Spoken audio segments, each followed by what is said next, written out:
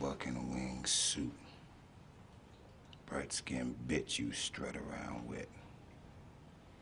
Uppity way you tell the world you better than Don Pernsley. When all you be's another jigaboo in a jail cell.